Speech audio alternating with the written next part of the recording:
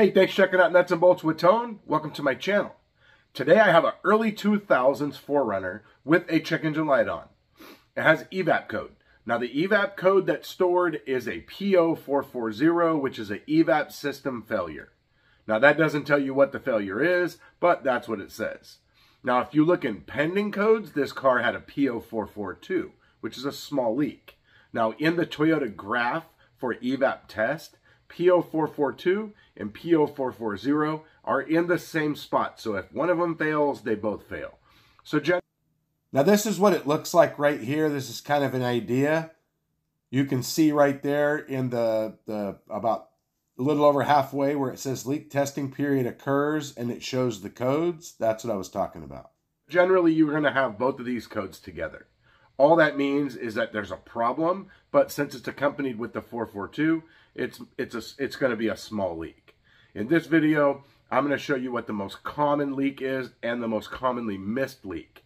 We're going to test the we're going to test for it and then we're going to show the final test. So let's get started. So here is the most common leak found. This is called a rollover valve or a check valve or in some cases uh, some part stores call it a vent valve. The purpose of it is if the vehicle rolls over, it's supposed to prevent fuel from leaking. The hose that's connected to the little nipple is rotted with fuel. We're going to replace that, but you have to drop the tank to access this. So here is the fuel tank. There's the rear of the vehicle, the rear of the fuel tank, and the canister is on top of it. Now that corrugated hose right there on the left, that one goes around over the frame and it connects to the rollover valve. And the rollover valve is right behind that little barrier. Kind of hard to see. I'm going to stick my phone up there. There's the rollover valve all covered in dirt. That's what we're going to be going after. Now the fuel pump resides right up there and the rollover valve resides there. We need to disconnect the fuel filler hose. There's a vent hose right there that goes up to the filler neck. And then behind here is another hose that we'll have to disconnect later, and that one goes back to the rollover valve. Then at the front, we're going to have to disconnect the hoses that go to the fuel pump and the fuel pump connectors. Now, I've found the easiest way to disconnect hoses like this is to dip a, hit, a pick in uh, in Sil-Glyde or some sort of lubricant, even WD 40, and then slide it in the hose, and it helps you break the seal. And then you slide your pick all the way around the hose to break it loose. Now, dipping your pick in, in, in some sort of lubricant helps not tear the hose. And then you just slide it around the hose to break it loose. You can also slide your pick in slightly and spray WD 40 in there and then work the WD 40 around. Either way. So now that it's broken loose, I'm going to try to pull it off. I'm doing this one handed, also standing on a box with my head up in the fender. So it's going to be kind of difficult, and I'm holding a camera. I just want to show you. Now, if we didn't have this thing lubed up, lubed up, it definitely would not come off like this. We will be using a pry bar to get it off. Boom. Got it off? Good to go. Now, before we put it back together, we're going to take Sil-Glyde and we're going to run it around the inside of all the hoses that have to connect to make it easier for install. So for the smaller hoses, you just want to use a small pick like this, or ho- or even big hoses that are really really stuck. You may have to use this to get it started. You just dip it in the Sil-Glyde and slide it up in there. Now I can't tell you how long I had been doing this before I finally learned this trick. I wish I knew this 10 years earlier. It would have made life a lot easier and probably helped me prevent from tearing some hoses and having to replace hoses that I shouldn't have had to replace. And a lot of times they're a pain when you have to replace them. Now, for that hose right there, it's easier to go around this brace on the frame to get to the clamp because the clamp is straight up and down from the body, from the top of the truck. There's a clip on the tank that the fuel, that the uh, electrical connector slides, it locks into. Now, the easiest way to dislodge this clip right here is with a 10 milli socket. You just take a shallow 10 milli, slip it on there, twist the socket, and it pulls right out. Now this harness has so much slack that you can drop the tank almost all the way before disconnecting the connectors. And it makes it easier so you don't damage anything on top. I'm warranting this canister, well, because it has the Dorman wings and it failed. But anyways, the easiest thing to do for this tank is disconnect this uh, corrugated line right here that goes to the rollover valve. And then you're also going to disconnect this line here. And then they're going to slip over the frame right there. And they're going to come down with the tank. Easiest way to do it. You have to disconnect the pressure line right there. You just have to release that red clip and the line pops off. And then right behind it is the return line. Just disconnect that. And those are going to stay with the tank and come down. And that's that's it. Now we're going to get ready to drop the tank. So the first step is to remove the big shield that's under the tank. You're going to remove those two outside 12s there in the front. And also these two 12s. Then the big shield's going to come down. Then you're going to disconnect that bolt right there, the clip on the other side for the for the hanger right up there. And then also the one bolt in the middle of those three on the front. And that's all that holds the tank up. There's the rollover valve right there. Here's the culprit. When I was smoke testing this thing, I had to smoke test it a lot of times. And I finally started to see some oil building up around this rollover valve. We're going to be replacing that, show you how to do that. And then also this rotted fuel line that's attached to it right there on the right. We're going to replace all that.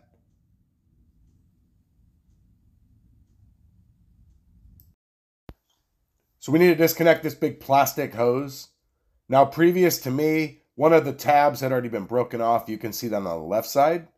But the way that you depress this is you can you're supposed to squeeze it and it releases the tabs, but it never works for me. So I stick a pick in one side right there and I and I open up that clip and then I twist the line like that to keep the clip on the outside of the lip and then I do the same thing to the top.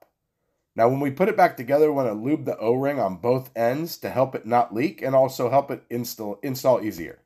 Then the next step is going to be getting this rollover valve out. Some of these I have had a very difficult time getting out. So we'll see how this one goes. You're also going to need a seal that the rollover valve goes in. It won't come with the rollover valve.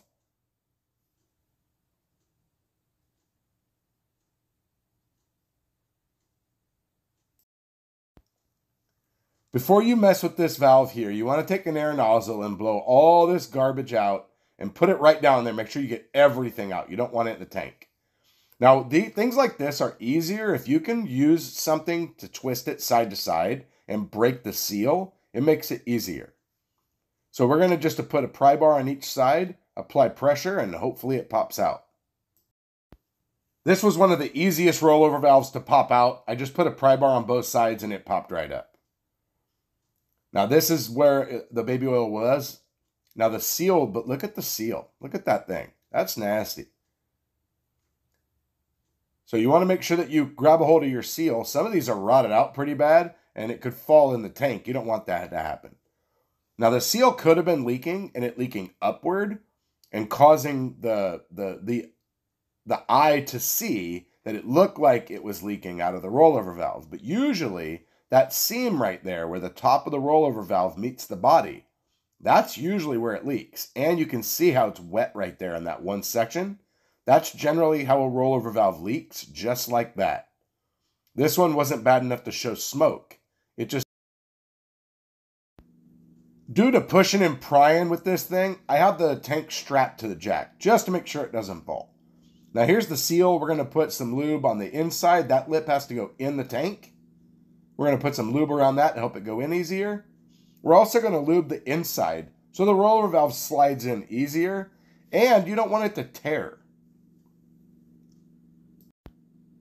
And just like always, I always use Sil-Glyde. There it is. That's general purpose lubricant. Now, hopefully I can get this to pop in with the camera to be able to see, but you can see it's all lubed up. Now I'm trying to stay out of the way of the camera, so it's a little bit awkward.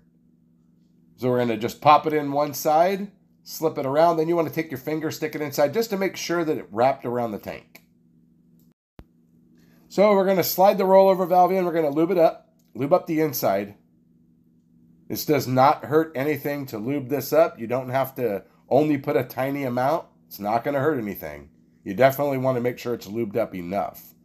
So now we're just going to kind of uh, slide this down, twist it, rotate it side to side, however you want to get it down. Now there's just a small, uh, kind of like a nipple on the rollover valve that has to pop through the seal. And it actually popped in really easy. And then we just need to rotate it so it's in its right position. So pretty sure I got everything on top of the tank sealed up. Going to use my Redline Detection speed smoke machine. Got it hooked up to a battery over there from a Cummins. Going to turn it on. There it is. There's the flow gauge. Now this is going to tell us if we're leak, if we have a leak, if we're sealed, how big the leak is. So we'll see. You definitely want to test this tank while it's down. It's easier. Because if the ball drops here, then I know my tank is completely sealed. And if we have an issue in the future, then we know that it's the canister, because everything is in the canister, or the closed canister valve or the purge valve. So this is going to be real time. Now this is what it looks like. The ball is going to bounce like this as it's sealing. And then it will eventually drop all the way to the bottom, showing that it's sealed and there is no leak. Showing this in real time so you can see what it looks like and what this actually looks like when it really does seal a system. Now, every car is different, every EVAP system is different, and also how much fuel's in the tank makes a difference. Now, final confirmation on this is with everything in the car. So I just got the hose disconnected from the purge valve. I'm just tapped in there. I already know the purge valve's good, so we're just testing from here to the tank with everything hooked up, canister and all. So I sped this up to kind of show a quick way, but now we're, we're all hooked up and we're going to see this thing drop all the way to the bottom. Now, before it would just sit there and bounce at the bottom and it would never seal. And now we're sealed. Now, when you're testing these early Toyotas, you can command the purge valve, which is the front door, easily with the scan tool. You cannot manually close the back door with the scan tool easily. You have to go back and apply power and ground. So the easiest thing to do is to just pinch off the vent hose, and if you have a leak, it will show. If you pinch it off and your ball drops, then you need to mechanic, then you need to electronically test your vent solenoid. Let me show you how to manually test this with just pinching it off. Now you're going to come back here to the big hose and pinch the hose off. Now I have two pairs of pinch off pliers because I've had times where I pinched a hose off for evap and it didn't completely seal it and I was fighting something that that was just created by me. So I always pinch it off in two places. So to be this big hose right here with the yellow stripe, now remember, that's mechanically. You're not testing it electronically. This is just seeing if the system is capable of sealing. Thanks for watching the video. Hit the like button, hit subscribe button, hit the bell. You get notified of all my future content you definitely don't want to miss. Thanks for watching. I'll see you next time.